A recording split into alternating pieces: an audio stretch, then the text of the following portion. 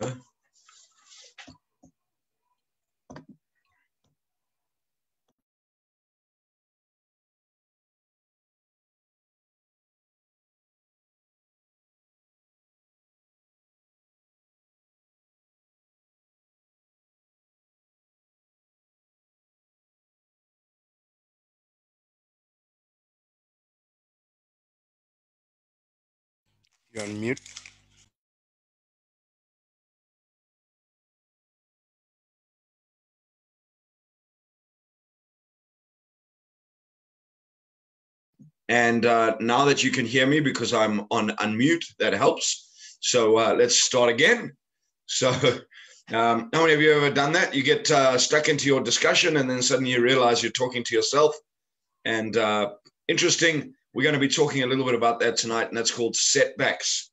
So, um, welcome to another session, Wednesday evening, 7 to 8 of Entrepreneurs Guide to Thrive. My name is Barry Mitchell. I'm the founder and owner of Uncovering Greatness, and really excited to be with you this evening on this uh, on this Youth Day. On this, uh, yeah, very important. How many of you realize that our youth and young people face some very precarious times? And um, yeah, you know, I was having a discussion the other day, and I was saying, you know, is this something really unusual, or is it something that every generation goes through? Um, you know, I can remember my grandfather; he went through World War II, and my father went through went through um, a bush war in in Zimbabwe, and you know, so you know, turmoil, time, turmoil, setback. I just, uh, I don't know about you, but I like to call it life.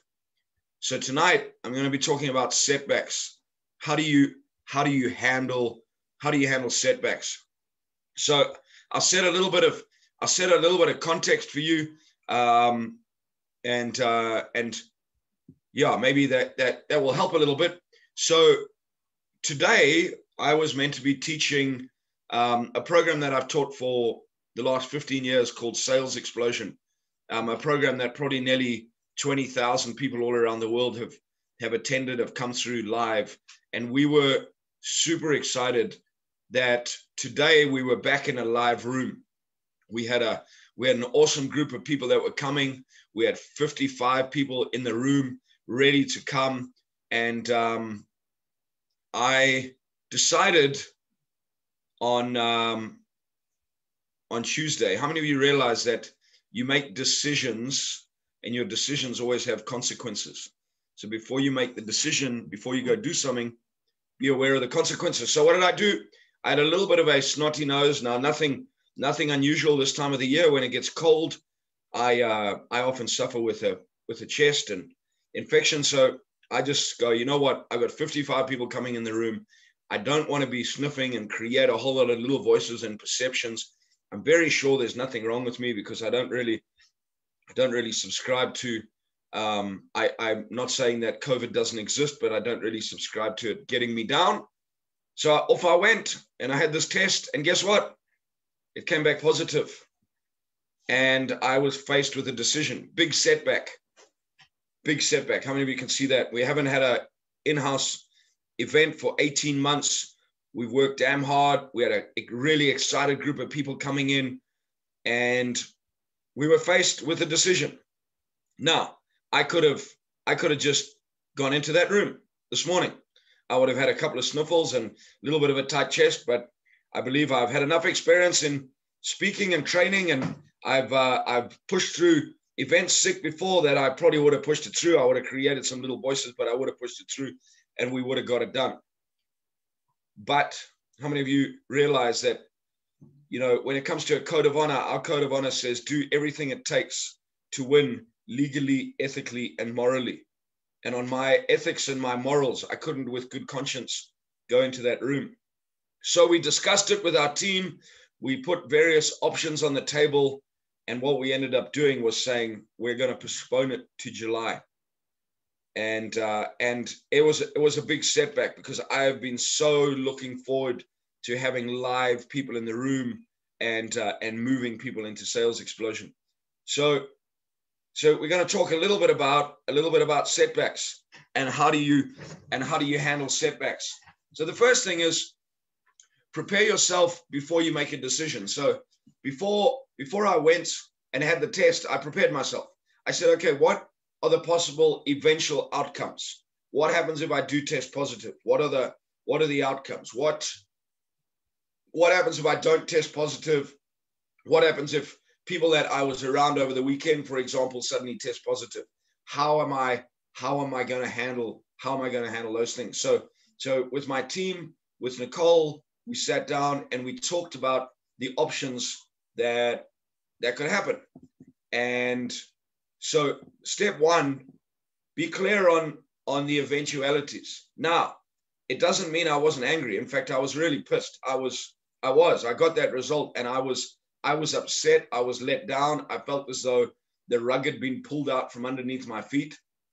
And that feeling probably lasted all of five minutes from my walk to my car. And then I said to myself, grow up, face the challenges. What do you need to do? Take action. So the second step is immediately when you get a setback, take action. So I came back, I sat down with Michaela, I got my whole team together, we discussed it, we put a list of we put a list of people together who were coming to the event. We pulled out that list, we shared it, and the whole team within an hour phoned every single person that was coming on that event, and we explained the situation to them. And we were blown away. Every single one of them said, The most important thing is that you get better. The most important thing is that we want to do it live in the room and we'll come in July. Now, I thought, why did that happen? Well, I've been building a community for 15 years, a community of people that we've served, a community of people that have been in and out of our, our rooms, a community of people who, um, who we have built, I found out, an immense amount of trust. And, and because of that trust, we were able to push through the setback and actually create another opportunity. You see, we could have been doing the event right now. However, because I'm stuck away for 10 days, at least 10 days, we're not going to be able to do the event. So we're going to do it in July. And there were a number of people who actually wanted to come on the event, but for various reasons couldn't come. So now we can actually grow the amount of people we're going to have in the room. What an opportunity. Now I could have got lost in the setback. How many of you often get lost in the setback? Lost in the woe be me, lost in the this is not fair. And and I I have a simple philosophy in life. It is what it is. Let me say that again. It is what it is. So what is it? Take stock of it, create clarity, create focus, and then take action. So out of every setback, there's always an opportunity. It may not be easy. It may not be easy. But the reality is, the opportunity that we created and the ability for us to connect with our clients that are coming actually was very simple. It wasn't easy. We had to get down, we had to connect with people, we had to make a lot of phone calls. But it was it was very, very simple. So often we get lost in that setback and that little voice comes up, that woe be me, and it's not fair, and you know, why is this happening to me? How many of you ever done that? Why is this happening to me again? And you start saying those silly little things like, it's always me and it never works out. Or is it just me that acts like a child in those little moments of, uh, of little petulant, flipping, irritated moments? Is it just me? Or can you guys connect with that?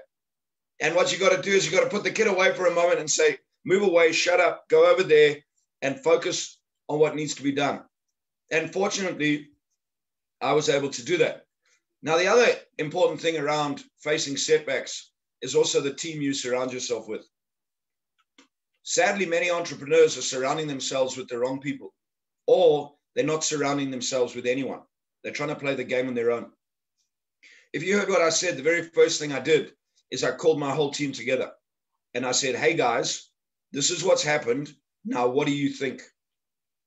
And each person on the team could give their point of view. Okay, each person on the team could give their point of view. And once they gave their point of view, we weighed it up. And what it did, it allowed me to create reason within my own mind. It allowed me to have the security of having a team decision. How many of you realize sometimes it's much easier to make a team decision than one on your own because you're facing it together? It allowed me to be able to pull the whole team together to take action because they were all bought in on the decision.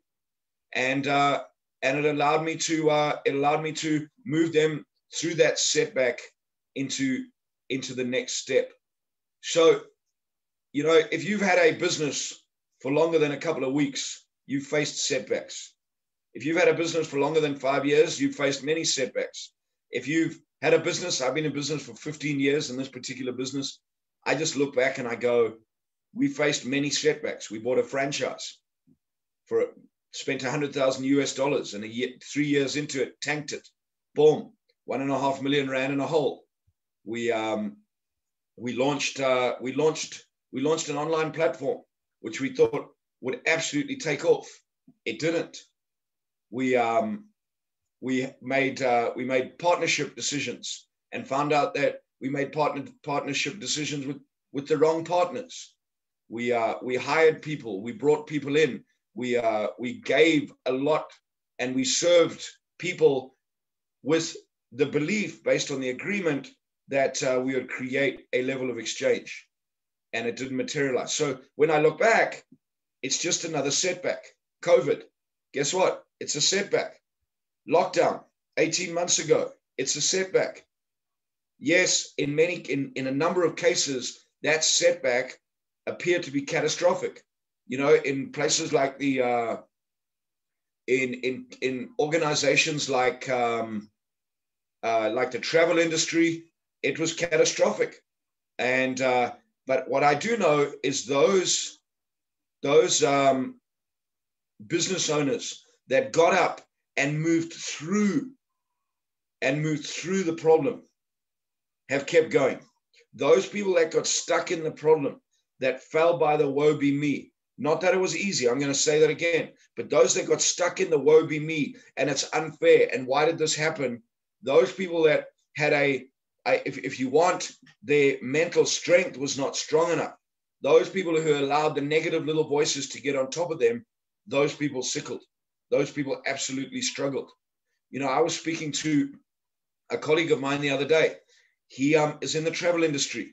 And through COVID, through lockdown, they have created a multi, multi million rand business, multi million rand business because they were forced to think outside.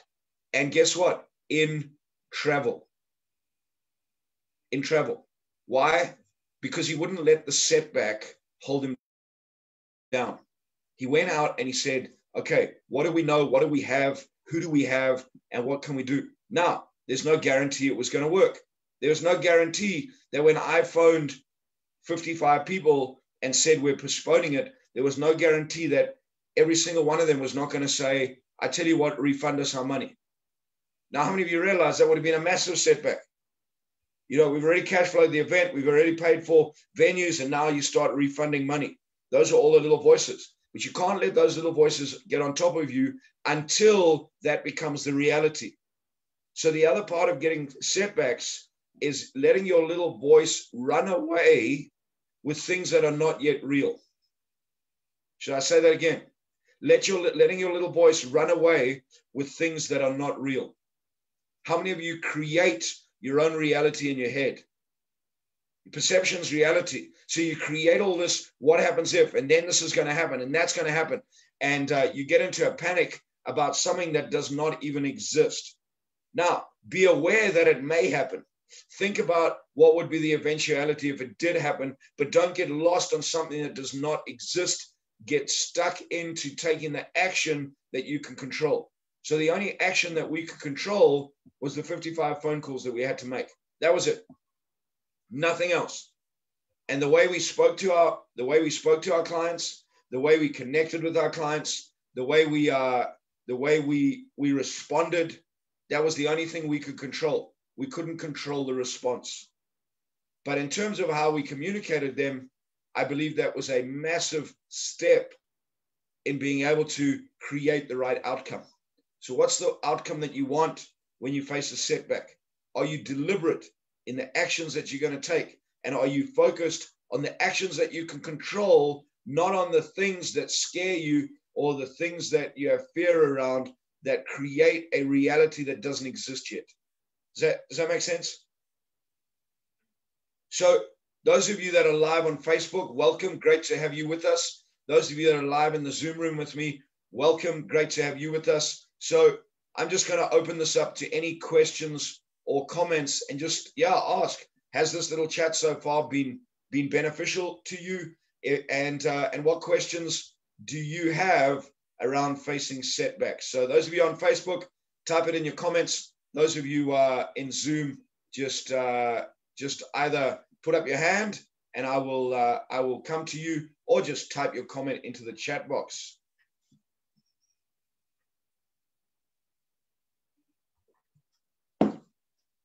Anybody?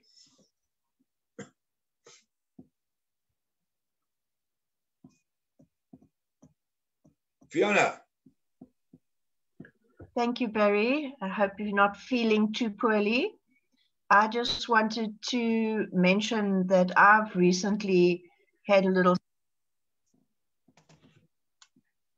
My immediate reaction was a knee jerk. Um, I was also very angry and very disappointed. And I must say that um, thanks to you and Nicole, I was able to stem that and work through it and not just run away from the situation as I might have done in the past. And uh, I think, as you say, take action and see what you can do to recover whatever you can recover. And sometimes something better comes out of it, sometimes it doesn't. But uh, Fiona, in my experience, something better always comes out of it. If you take the right next step, something mm. better always comes out of it. No, it what it, I'm saying, what I'm those things don't, they don't happen for, that, for an accident. Don't happen by accident. For that situation, you might not think it's it's the best thing, but I truly believe something better is going to take its place. So, so you said a very important word, a knee-jerk reaction. So what happens is we take a knee-jerk reaction, emotion goes up, intelligence goes down, and then we do and say things which create results that we don't want. So if you get what I said right in the beginning, it's take a step back and go, okay, where take stock of the situation. Where am I? What are, what are the potential outcomes? Because what happens is a lot of times people react it with emotion, and that creates that creates a result. But often it's an adverse result. So you step back, you go, okay, so this is where I sit. So this is what I need to do. So this is, these are the possible outcomes. What can I control? Right. Let me control what I can what I can control. So your comment is is very powerful because look, how many of you get stuck in knee jerk reactions, and uh, and and and we panic. You got to stop, take a breath, go. Okay, where do I sit? Why? I I don't know if you like me. I don't believe there's any accidents on the planet. Things happen. Things happen, and they are what they are. Why? Because they happen. Well, it shouldn't have happened. It happened. You know, I shouldn't have got COVID. I got COVID. Okay, so I'm locked away for 10 days. Now what? Okay, that wasn't in my plans. You go back a week ago, that was not in my plans. Okay, now I'm here for at least 10 days. So what am I going to do about it? Okay, so I had an option tonight. I was feeling a little bit rough and I was like, mm, should I get on this call? Maybe I won't. But then I remember I made a commitment. I made a commitment at the beginning of the year that we would do 52 weeks of this, that we would run a Wednesday night every week. And it was just as easy, it was just as easy not to do it as it was to do it. Now, how many of you would have forgiven me and gone, oh, shame, he's not feeling well, it's fine. You, you get that? But the deal's this what? I can sit and work on my computer or watch a movie, but I can't get here. So I had to take check of myself again.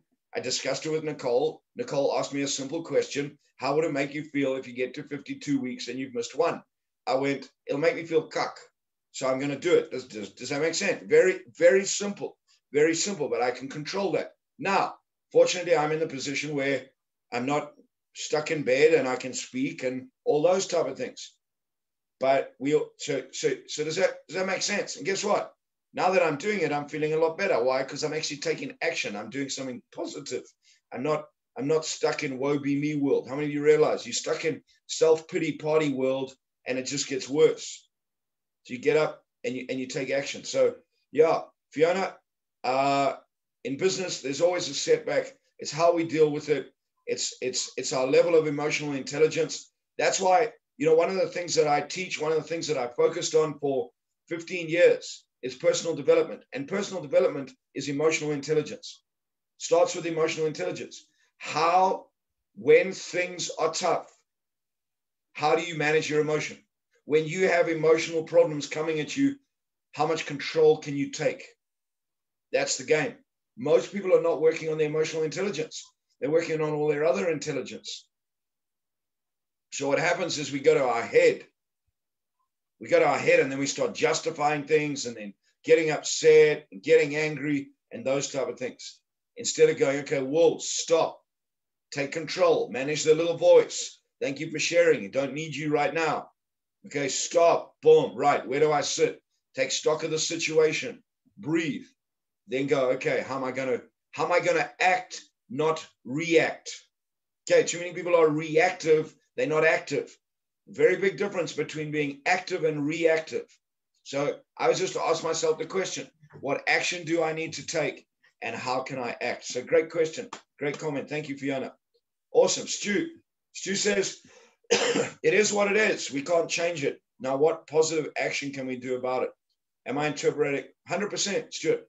You know, it is what it is. Now, if you believe that the world is in a minimum of duality, okay, I, for me, pretty simply, the world exists in a minimum of duality, duality or more. There's two or more of everything, up and down, in and out. There's not one, which means that if you have a setback, on the other side of the setback, there has to be an opportunity, doesn't it?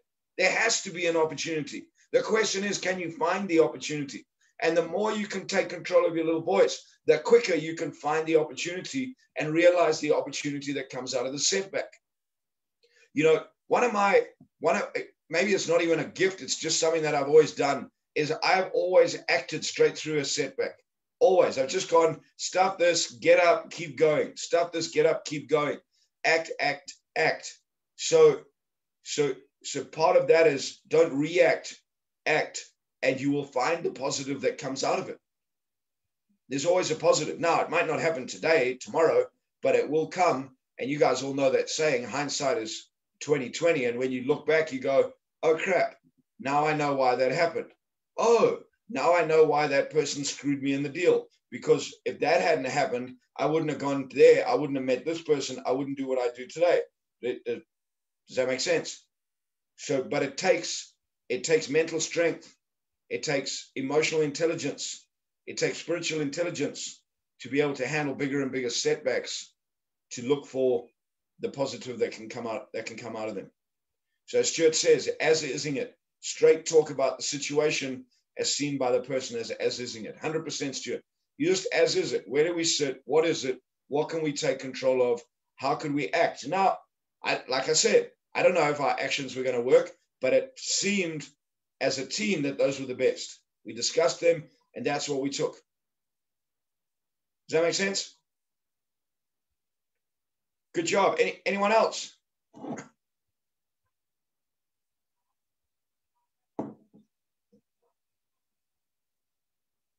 Fiona. If I could just add on to it, what I found so interesting, um, and Stuart, you'll enjoy this as well. When I did the as ising with the people concerned, they couldn't handle it. it, it was one of the weirdest situations I've ever been in. And what, what they resorted to were circular arguments. So they kept getting away, going away from the point and not addressing it directly.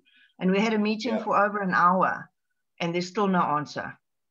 So, so as, as ising is very powerful, especially when you as is with no emotion and you just put it on the table and you say, This is how I feel. This might not be what's going on, but this is how I feel. When you do that, you put the ball in their court. Most people react and emotion goes up and then they attack. And when you have two emotional people having a discussion, well, then you have a bigger problem because you have two idiots arguing. So you just you just take control of the situation, take control of your emotions, and and manage it from there. So well done, good job. Anybody else? May I ask something? Greta, of course you can. Um, if you're dealing with a client and you know that the client is actually not in the right, um, but it becomes a one-upmanship situation because I'm, I, I do lots of interior decorating and I'd rather in an upmarket market. But I often get these clients that think they are the decorator. And eventually it's a no-go zone. How do you handle something like that? That's a that's a great question. Greta, have you been on the Sales Explosion program yet? Um, no, I haven't. I, I, I'm, I'm going to put it out there that I encourage you to come on the Sales Explosion program in July. I tell you why. I teach a skill in that program, and I'll tell you what it is. It's your ability to connect with people and ask questions. So, what happens with most people when they get into a one upmanship is we get into this I have to prove that I'm right. I'm the expert. I'm going to show you. And what happens is our emotion comes up. So we start telling someone, and they, they, because of the nature of human beings, you've been conditioned to be right. You went to school, didn't you, Greta? Yes, but uh, you know, in my situation, it's usually an, a very, it's an, um, uh, I, I, don't want to, um, I'm very well qualified. I can do, I, I actually do construct, I project manage construction. I conceptualize it. I do all these kinds of things. So, but then I land in a situation where I'm dealing uh, the last situation that I had, and I lost a big, big contract because of this. Um, the, the, the daughter-in-law phoned me. It's a relocation for her parents, her parents-in-law. Uh, paid my consultation fee. I went and I did the whole thing. But as it progressed, I realized she's actually wanting to teach me, but she doesn't want to teach me, but she doesn't want to take the responsibility. She throws yeah. the responsibility onto me, but she she wants to do it. And it's not working. At the moment okay. that I get into that kind of situation, and I often get it, and I'll tell you where I find it. It's women that are that have married up. They've married wealthy men, um, and they themselves are not so sure of themselves. So they want to prove themselves um, and I'm there because the other people asked to have me there because of the referrals and they've heard a lot of me and this and this and this. But they actually don't want me there. How do so, you handle a situation like that? So, so Greta, you ask questions. Yeah. I and and I don't say this to offend you. I don't care how well qualified you are. I'm very well qualified in what I do. But the biggest way to divide is to tell people. So the mistake we often fall into, and why do we fall into it? It's because of how we've been conditioned. We went to school, we got an education. You were taught that the way you pass is to be right. Yes? So what happens is when people challenge our intellect or challenge no, I don't expert- challenge them. I just I just don't just ignore it. I've learned in my life to ignore it. I just so, continue. I just continue. I do when I left, I said, fine, this is the situation. Is this what what is this what we have decided? So I'm, I'm going to share. Can I share something with you? Tell Ignore, me. Ignoring a situation is is is just as is just as powerful as addressing it and telling people because because we get it we get into an emotional so so if, if you get this in the game of sales they're trying to sell you on something. They can feel that you know more than them. Whether you tell them you know more than them or whether you don't. So what happens is their emotion goes up because like you say they either might feel insecure they have money they paying you you should do what what what they want. So and and this is not easy but the real skill is being able to is being able to the real art of sales is being able to get into their world, find their truth, and through the art of asking questions, get them to pivot to change their truth. Because reality is this they have a truth. Whether you agree with their truth or don't agree with their truth, it doesn't actually matter. That's their truth. Does that does that make sense? Yes, that so, makes sense. So the real art of sales is getting into their world find out how they think, and be able to pivot them so that it becomes their idea, not yours. And then you get them to do what you want them to do, but they got themselves to do what you want them to do, but now it's their idea. That's the real, that is the real art of selling. Okay. Thank you does very much. Does that make sense? That makes sense to me. It, that makes sense. And that and I'll it, have to it, learn. it's it's it's not easy. Why? Because we've been so conditioned to tell. You know, how did we pass? How did we pass school? No, you know what? It's a we situation. We, I have to handle the money and I have to accept the responsibility of these things. And the, those are the people, the first people that if anything goes wrong, they turn around and say, but you're the specialist, you were supposed to know. And you're actually, you, you're sitting in a catch-22 situation. I'm always thinking at the back of my mind, I can be held responsible for something which I initially didn't agree to. But how do so, I turn this around? Okay, so part of it also is setting up very clear agreements right up front.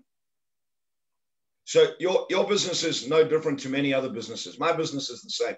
Um, when I run business coaching clients, um, I can have any client that could turn around to me after a couple of weeks or months and say, "Yeah, but I'm not growing, and you didn't do this, and you didn't do that." And I sit and go, oh, "Okay, now I can either defend it or I can or I can learn how to ask questions, um, and and say, you know i understand that. So so in in, in any and I, and I can what i can hear is that is that you one you're very passionate. Two you have a very high level of integrity and responsibility. So so it's, very important. Yeah i can i can see that. It's very important to you that you deliver on what you agree to. What's really important is that you make sure right up front right up front that the agreement is clear and both parties are on the same page a lot of Thank times you.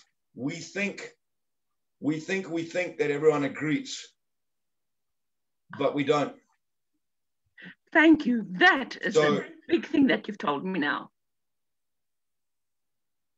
So, how do you get agreement? You ask people what they want.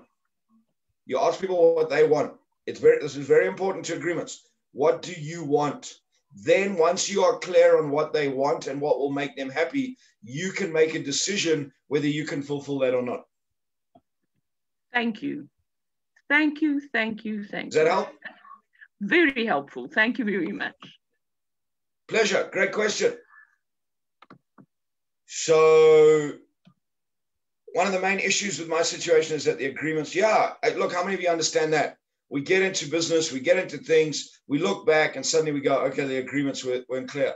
So that's not a, that's not unusual. I mean, I've I've spent most of my life fighting those type of things. I'm getting better and better and better at it but uh, but just create clarity of agreement up front, then manage them and learn from them. Um, so just keep just keep keep keep getting better, keep improving. Does that make sense? You guys getting some value out of tonight?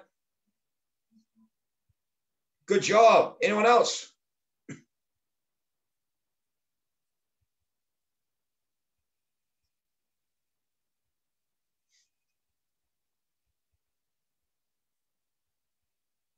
Any other questions? Anything on Facebook, Sully? Any comments or questions coming in from Facebook? Nope. Nothing in. None tonight. Everyone's everyone's on uh, on holiday. So um, so the other thing I was going to talk to you guys tonight was a little bit about the myths. I thought, you know, uh, I was thinking it's Youth Day today, and I was thinking how the education system hasn't changed for well over 50 years and how we're still teaching our youth what I don't know about you, we were taught 50, 60, 70 years ago go to school, get a great education so you can get a good job, so you can make lots of money. How many of you think that it's really time as a community that we start changing those type of things? Now, education is incredibly important, but it's that myth of if I'm highly educated, and I call it schooled actually, I call it highly schooled, not highly educated. If I'm highly educated, I will make money. Well, it gives you an opportunity to make money and it gives you a vehicle to make money, but it doesn't necessarily guarantee you money. And uh, so, you know, some of the myths that I think a lot of disgruntled young people, and you guys get this, how many of you can see there's a very disgruntled youth around the world? You know, in South Africa, I can see it and, and I can, I, I feel for young people you know, they've been promised go get a great education and you'll make money, and they can't make money. Why? Because there's a couple of key things. One, they never learned how to sell. You know, um, I had someone reach out to me on Facebook yesterday. Uh, I need some help. I said, sure. What help do you need? Said, uh, I need a job. I said, why do you need a job? Said, I need to make money. I said, you don't need a job to make money. Said, I do. I said, maybe. Said, can you sell? He said, Yes. I said, Then why do you need a job? He said, I have nothing to sell. I said, then you can't sell. Because the first step is eh, you got to be able to sell yourself into selling something. So as youth and you know any young people, and this is not only for young people, this is for every generation, but for the young people, one of the biggest pieces of advice that I can give you today on Youth Day is that if you want to change your life, you've got to learn how to communicate. You've got to learn how to sell. Why? Because sales equals income, income equals life. Whether you have a degree or don't have a degree, your ability to sell, your ability to communicate will determine the income that you can generate, will determine the life that you live legally, ethically, and morally. But you have to learn how to sell. Too many people are not investing in learning the critical skills that can equip them to generate income, that can equip them to create wealth, that can equip them to build a business. You know, a myth, I have a great idea. Oh, good. How many of you have had great ideas? I have this great idea. I'm going to make millions. Yeah, right. Not if you can't sell, not if you can't connect with people, not if you don't know the core principles. You know, another principle is exchange. Too many young people are sitting around waiting for someone to give them a handout so they can do something. That's not exchange. If you build a business and you get it for free, the principle of exchange, God's principle, a universal principle, will kick in at some stage and it'll force you to get into balance. So the more you take without giving back, the more you'll be forced to get into balance at some stage. So you got to get into exchange. You got to make sure that in all dealings, are you in fair and equitable exchange? If you are, you safeguard your future.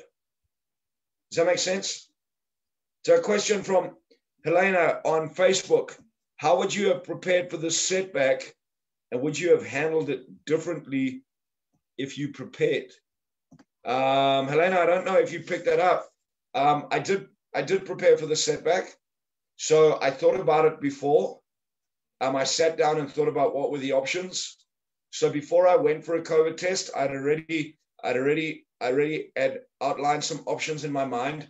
I'd already spoken to some of my team, and uh, and I, so I'd already I'd already cleared a couple of ways that this thing could go. Um, so right up front, right up front, I, I created clarity in my mind so that I didn't react, if that makes sense. So you know, um, as Stephen Covey teaches, begin with the end in mind. So before I went for the test, I went, okay, what what what are the eventualities? What could happen? I could test positive. I could test negative. Some of my team could test positive. Okay, what will we do?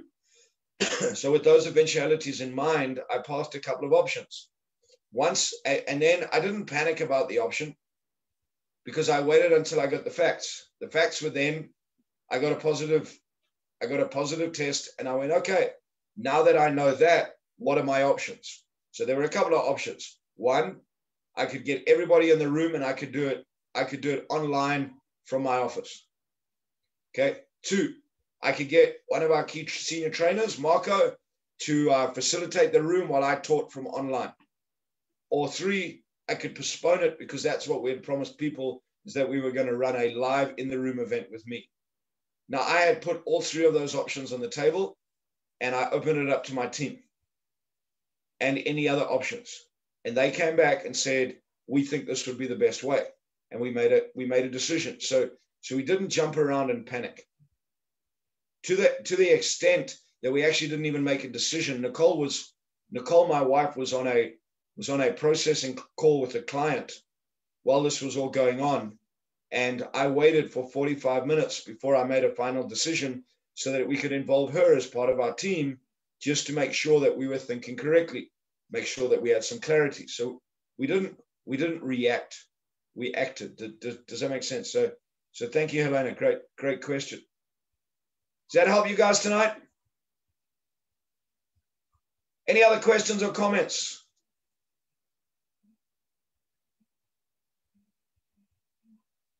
Yeah, Stuart, content, content versus context. Understand the context first. So when you when you when you really, you know, Stuart, you're getting this, the power of context, yes? Context is everything. Context is everything. Content, content we shove in and take out, but context is everything. So the stronger your personal context, the stronger your cup, the easier it is to handle setbacks. Great comment. Anybody It's else? Any other questions was- or comments? Stuart, yo, was actually a question to check that I was interpreting it correct. And Greta picked it got up it. as a comment towards her, and things may be meant to be as they are. But I was just checking because I've heard you say it a couple of times, and I interpreted it as saying always understand something in context before getting bogged down in the detail of the content. But thank you for the answer. Correct. And Yep. So things are as they're meant to be.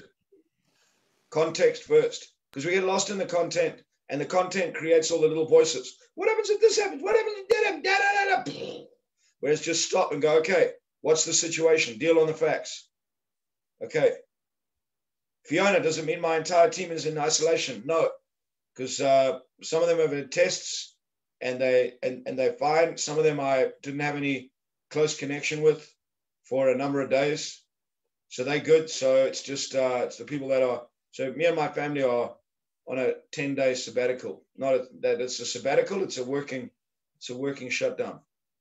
So, but uh, but I'm, I'm fortunate. I have a very responsible team, and you know, a, a number of them have made the decision that they'll work from home for the next five or six days, make sure that they're, that they don't get any symptoms, and and move from there.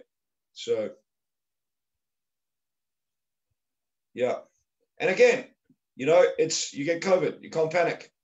You know, you uh, it is what it is, or whatever it is, or is what it isn't. I don't know.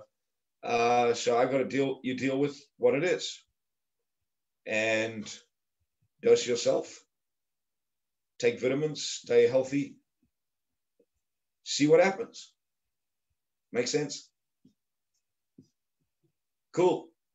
So, Sully, any comments from your side before I wrap it up? Great. I really hope you guys got value tonight. If you did get value, please just type value in the chat box. And um, and I'm going to wrap it up for this evening. I'm going to see you guys next Wednesday, same time, 7 to 8 p.m. And remember, those of you that want to learn a lot more around mindset, uh, my wife Nicole does a program every Wednesday afternoon from 3 to 4 p.m. called You versus You. She teaches people how to get themselves out of the way of themselves. And uh, from four to five, Marco Martins, who's our uh, heads up entrepreneurship and uncovering greatness for the youth, runs a uh, runs a one hour session with uh, young people. And uh, and from seven to eight every Wednesday, I run Entrepreneurs Guide to Thrive. So great having you all on this. Some superb questions tonight. And uh, yeah, look forward to seeing you guys next week, Wednesday, same time, 7 to 8 p.m. Be blessed. Have an awesome, awesome rest of your public holiday. Have a great week and weekend ahead. And we'll see you soon. Bye, everyone.